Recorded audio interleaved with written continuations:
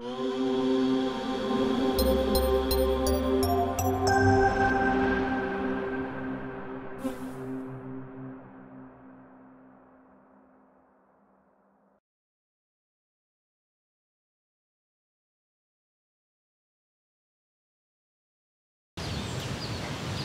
the other cool thing we have is BeeTV.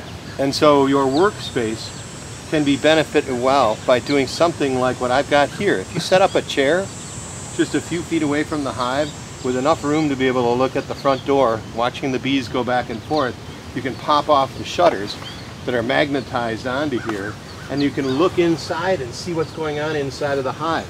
We call it BeeTV, family programming, seven days a week, 24 hours a day, no commercials.